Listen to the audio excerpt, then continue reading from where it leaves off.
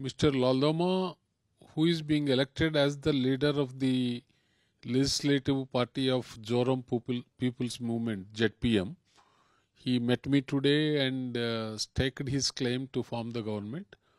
I appointed him as the chief minister and invited him to form the government.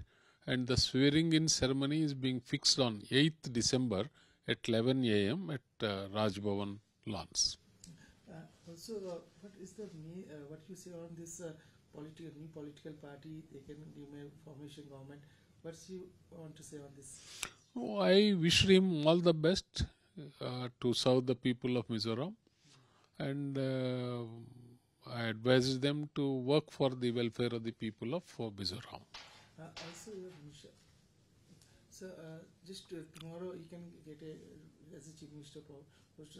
So, what's you uh, want to say on development issues? You can support a development center. Uh, Yeah, whatever the cooperation required from government of India, from different ministries to implement uh, different uh, developmental programs, and also the welfare schemes of the government of India, and also to implement the centrally sponsored schemes in the state of Mizoram. I expressed my willingness to cooperate and uh, work with the government of Mizoram. what's uh, your message about the Mizoram peoples? They can get a good vote. They can uh, participate as a vote vote on this elections. Yeah, the election process in Mizoram is uh, totally different uh, compared to other parts of the country.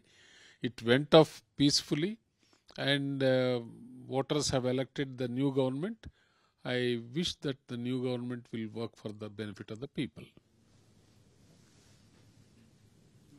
Uh, governor uh, is Mizoram. So, whatever, sir.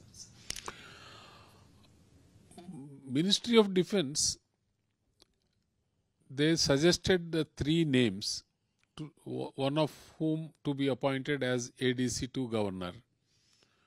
Out of three names, uh, one is a lady officer, squadron leader uh, Manisha Padhi, and uh, we appointed uh, squadron leader Manisha Padhi as ADC to government.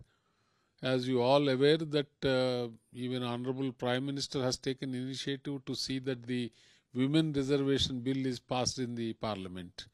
Therefore uh, when a woman officer is available to be as adc i thought we can give preference to women officer and manisha padhi is the first defense personnel to be appointed as adc to governor From breaking news, detailed analysis, in depth interviews, and explainers, follow the Times of India. Subscribe to our YouTube channel.